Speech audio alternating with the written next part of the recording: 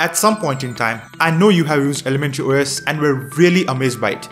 You thought it was a stunning Linux distro and everything about it was super polished. I also know it's not your current operating system. Why is that? Defaults. Defaults are very important in a Linux distribution. How a distro looks out of the box, what software and tools does it come with, what's the default browser. Yeah, it matters. For example, a Linux distro came with NVIDIA proprietary drivers installed and configured by default out of the box when no other distribution did it. Pop! OS is a big name today. What it did was, it solved a problem. Now a distro did something else entirely. It stripped away automatic NVIDIA driver installation which was there in the first place. This is not problem solving, it created problems that were not there and didn't need creating. It removed access to a huge library of well-tested, stable, fast packages which was already there, it created a problem that didn't need creating. It chose to use only Flatpaks, but not the ones that are already there, but completely new apps created only for itself. It created a problem. Hey, this is Linux Tex, and today we are talking Elementary OS. Check out my course Linux Mastery Express, which is the fastest way to level up your Linux skills. I'll teach you a set of commands that will give you the confidence to use Linux without even a graphical interface. Then we'll dive deep and learn how to use the V-Editor and master shell scripting with real examples.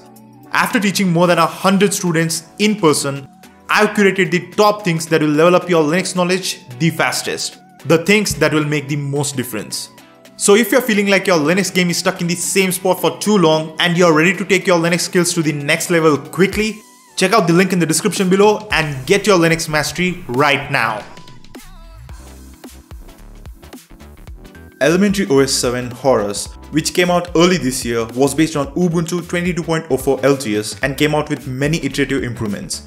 With this big release, Elementary OS brought the same great old experience that its users fell in love with. It also brought the same old inconveniences. Yeah, let's call them inconveniences. Right out of the box, the desktop looks super premium, no arguments here. But pressing the Windows button doesn't bring out the application menu. Instead, we get these shortcuts. No issue, it can be changed from the settings. I would have liked it if this was the default and shortcut messages on holding down the super key. Let me open an application and if I want to minimize it, there is no minimize button. Okay, this is an issue as I have multiple apps open at the same time and I need to minimize apps to focus properly.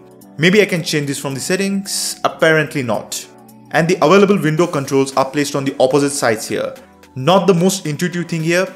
While I can get used to this, I don't understand the developer's vision here. Anyway, can I change this from the settings? You guessed it, no. But there must be a way I can fix these things. Let me go online and check for a solution. Where's Firefox? Oh, we get Epiphany web browser or GNOME web here. Just fantastic. While Epiphany is not a bad browser, it's not a good browser either. Only recently has it become capable of playing YouTube videos properly. Yeah. Epiphany is slow, janky and overall is not an enjoyable experience. With the latest version, there have been many improvements and we can even use extensions now. But there are way better alternatives. But Elementary chose Epiphany. Alright, let's move on and install some other browser. Firefox maybe? Okay, Chromium. Elementary OS is based on Ubuntu LTS version. Many popular Linux distros like Linux Mint, Zorin OS and Pop! OS are based on Ubuntu, and one of the biggest advantages of being based on Ubuntu is access to more than 60,000 well-tested packages. You can install pretty much any software you want from these repositories and it's a great experience altogether. Elementary OS with the last version, that is version 6, removed access to these packages from its App Center. Let that sink in. Instead, Elementary OS chose to go with Flatpaks only. Personally, I was not a big fan of this decision. I understand the scope of unified package managers like Flatpak and Snap, and I've had great experience because of these. I use a few, but at the end of the day, I prefer to use full native packages like .debs or RPMs. They are faster, they take up way less storage space and they integrate nicely with the system. So I was a bit down about the decision to ship only Flatpaks. Whatever, FlatHub has a great library of apps and whatever you want, you can find there. Yeah, this is not that kind of video bruh. This is not a love story. This is a horror story. Elementary OS uses Flatpaks, but not the ones from FlatHub. Elementary OS provides its own curated library of apps. You can't find any apps that anybody realistically uses here. There's no browser, there are no popular apps. One thing about the apps that are available here though, these apps are curated and specially made for Elementary OS. They are made by individual developers and look and integrate amazingly with Elementary OS. As an aspiring indie developer myself, I have massive respect for these developers and what Elementary OS try to do here. Really, take a bow. But as a user, I need the VLC Media Player, I need Firefox, Kdenlive, some games and many more software. Realistically, alternatives for all these apps cannot be created only for Elementary OS. The software choice path that Elementary OS takes, this can be off-putting for many and a big hurdle for Linux newcomers. All these things combined with few more issues like overcomplicated NVIDIA driver installation made what could have been a great experience a plain inconvenience. I recently did a poll and these were the results. I know what you might be saying. Hey Tex, this sounds like a terribly bad Linux distribution. Does anybody even use Elementary OS? Yeah, here's the twist though. Elementary OS started off as one of the biggest sensational hits the Linux world had seen. It was accepted with open arms by the community and really adored. Elementary's Pantheon desktop was a smashing success. This was during the days of GNOME 3 and Plasma 4 series. Pantheon was aesthetic, polished, and provided a premium experience. It was also minimal, and people really took a shine to it. And before we knew it, Elementary had established itself as a top distro. When I talk about the polish, the attention to details, and the workflow, Pantheon was better than the competition. Even today, Pantheon Desktop holds up on its own. The dark mode that Elementary OS brought in the last version, which was a suggestive dark mode instead of a forced one. It was the inspiration for what we have in GNOME across all Linux distributions today. It was Elementary that brought about the change in how we see themes in Linux. The odd window controls, the lack of a minimize button and few other things were considered too minor for what we are getting. But of course, the software situation was very different on Elementary then. Apps from Ubuntu repositories were fully accessible in App Center. That means Firefox, Chromium, VLC, games, development tools, everything was fully accessible and could be installed with a single click and App Center, Elementary's own software store, was miles ahead of GNOME Software Store and even KDE's Discover when it came out. It looked premium, had an enjoyable software browsing experience, and was simply cool. It also has motivated other software stores and upped the game. All these reasons kicked off a great journey for Elementary OS and it was all the hype. It was in a league of its own and people were hopping to it in droves. Even Windows users jumped into the Linux ship because of Elementary OS. Elementary OS garnered itself a huge community of loyal users. Elementary OS also has a sustainable financial model. Pay what you want for Elementary OS and the software created by developers specially for Elementary. While a price is suggested, you can just type in what you want to pay, including zero and access the software. This is particularly very very important. With this model, many developers started creating software for Elementary. Indie developers had a viable and sustainable way to create and maintain software with Elementary OS and the users who could and wanted to support these developers now could. And those who didn't want to or couldn't, no harm done. You could still go ahead and download the software by typing in a zero in the box. Elementary OS also created the guidelines on how to create the applications with its human interface guidelines. This made all these new apps integrate so beautifully with Elementary. They looked like they were system apps, they belonged there. And this solved the inconsistency issue with other Linux apps. GNOME's new GTK4 and libadwaita work very similarly to make apps look and feel more uniform. Elementary leveled up the experience you could expect from a Linux distro. Many people call Elementary the Mac OS of Linux world. They are not wrong. A super premium desktop, high quality, consistency, and that superior polish in all apps, even the ones created by third-party developers, make Elementary OS stand out. And it also has a sustainable financial model that's going to work for everybody. Desktop Linux really needed something like Elementary, and Elementary did grow desktop Linux as a whole. I've seen many people ask, why are there so many Linux distros? Couldn't everybody just work on one Linux distro? Apart from the obvious choice that all these distros provide to the users, all these distros competing against each other leads to everybody growing together. That's the beauty of open source. One advancement in one distro can be easily inculcated in other distros and with even better improvements and Elementary OS will go down in history as one of the key accelerating factors of desktop Linux. Is Elementary OS a walled garden like macOS? Before we answer that, desktop Linux desperately needs a distro that instead of letting the users decide everything, tells the users how to do everything.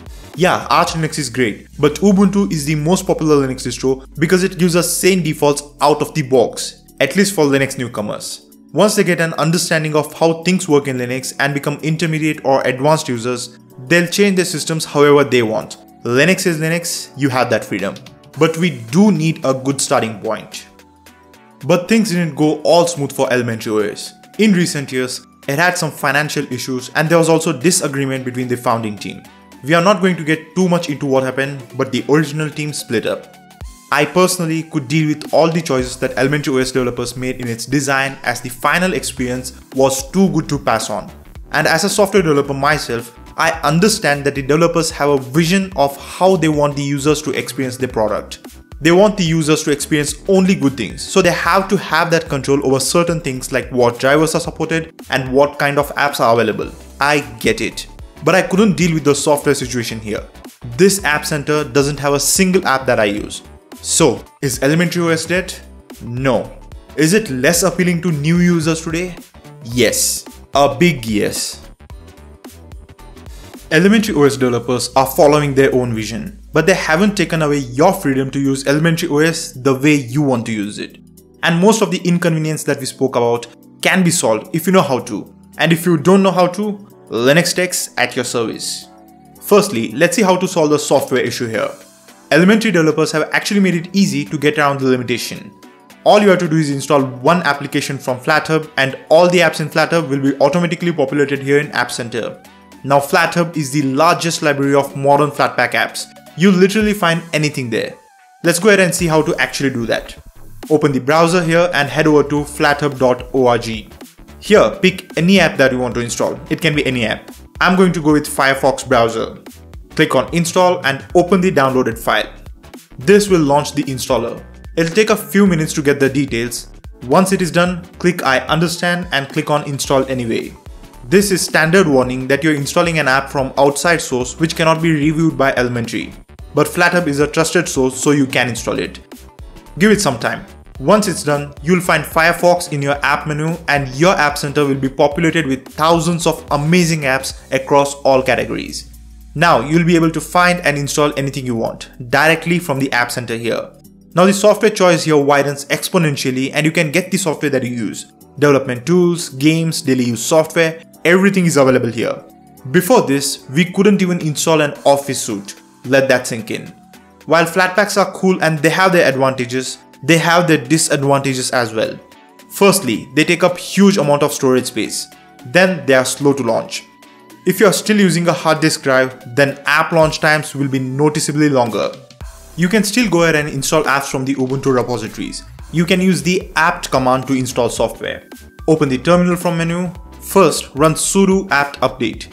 Then sudo apt install followed by the package name and apt will get that software for you. But if you don't enjoy using the terminal, then you can install the Synaptic Package Manager, which is one of the most advanced graphical software managers there is. With Synaptic, installing and managing software from Ubuntu repositories will be vastly simplified here. Highly recommend it. You can install Synaptic by opening the terminal and running sudo apt install synaptic. Synaptic Package Manager might look dated, but it's a very potent software manager with access to more than 68,000 packages. You can use it to install any software you want in .deb versions. You can also browse around for software here and it even gives you advanced controls. This is a must-have for any Ubuntu-based distribution.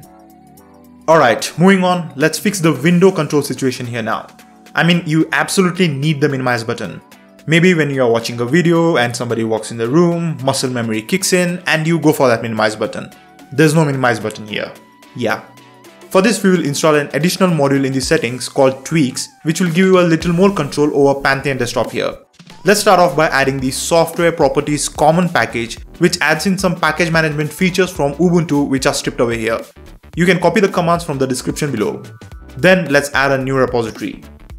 Then let's install Pantheon tweaks.